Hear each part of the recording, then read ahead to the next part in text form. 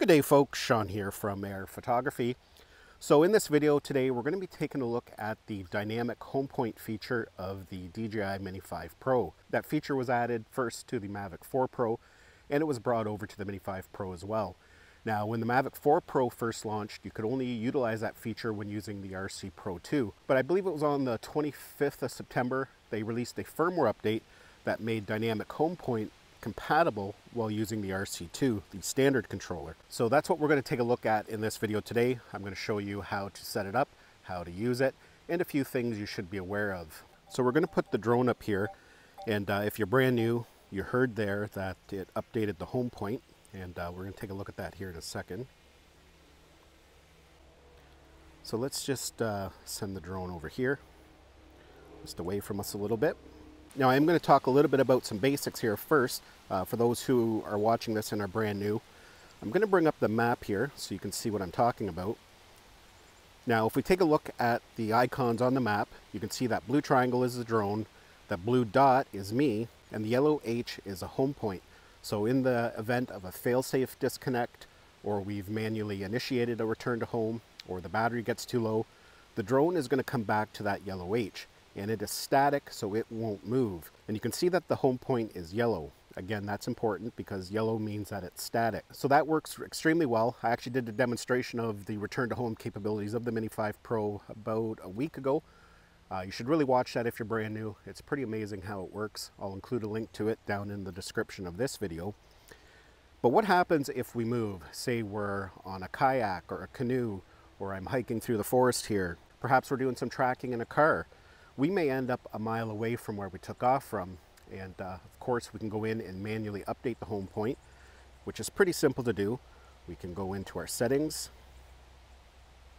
Under the safety tab, we're just going to scroll down and we have an option there It says update home point. So we can update it to the aircraft or the controller. But the problem is, is we don't always have that luxury. If we're like tracking ourselves and there's a problem, a fail-safe disconnect because we've lost connection to the controller, we can't go in then and update the home point and the drone could be headed back to the home point that could be a kilometer or a mile away. So what they have is a feature called dynamic home point and I'll show you how to enable that. If we click on the three dots again to go into our settings, again we'll go back to the update home point. You can see at the top there, there's an option that says dynamic home point. So we can tap on that, then we'll hit OK And what you're going to notice there is that home point has now turned blue. So when it's yellow, that means it's a static home point. When it's blue, that means it's dynamic and it will follow the controller around. The other thing you're going to notice there is that the return to home icon turns blue as well. So it's a quick visual reference. You'll always know whether you have a static home point set or a dynamic home point. And that's actually another way we can get at that dynamic home point setting. If we were just to tap on the return to home button, you can see at the bottom there it says update home point. So that'll bring us to that same page. That's just a quick second way at which you can update that, switch between static home point and dynamic home point. Now I'm going to demonstrate that here in a minute. We're going to go for a walk. But a really important thing to note is when you have a dynamic home point set, it behaves a little bit differently than a normal return to home.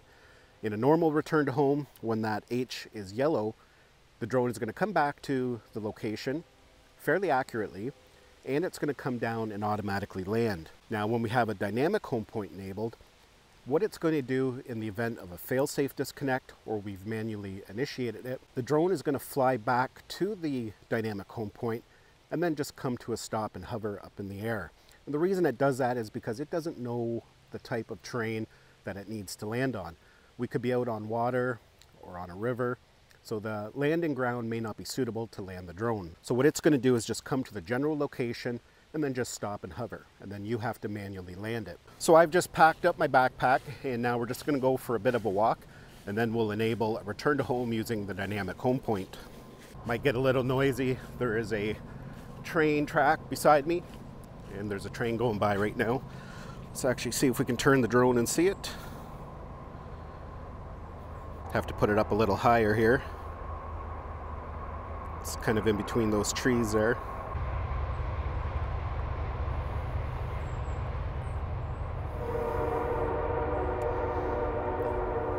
But yeah, let's continue here.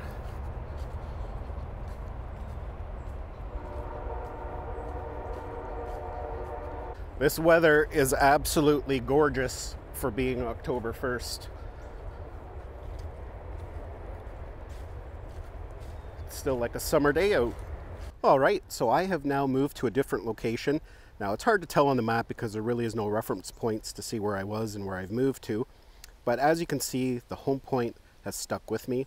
So now if I initiate return to home, or if it's become disconnected and it's a failsafe return to home, it's going to come back to where I am. So let's go ahead and we will do that now. We'll tap on return to home. Return to home.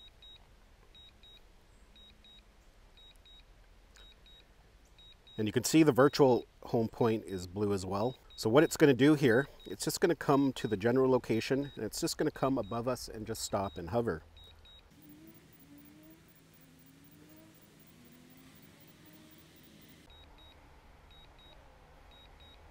And there we go there. So you could see there once it got to the point, it just stopped the return to home and now it's just hovering right above us. Now I'm going to turn the camera down here and you'll see why that's important. You can see the virtual home point. I am right under a tree right now. So that's why it doesn't automatically come in for landing because it doesn't know the environment that you're going to be in. Now as mentioned, when you do a regular return to home, you're not using dynamic home point. It will build a real-time map on its outbound flight so it has a good understanding of the environment in that situation, when you do a return to home, it can come in and navigate really complex environments. And I highly recommend if you're brand new, watch my return to home video that I made the other day. Again, I'll link it down in the description. It's pretty incredible how it works. So now at this point, I just have to bring the drone in myself for a manual landing. And that's okay. You know, using a dynamic home point, you just want it to come back to the general location. That way you don't lose your drone.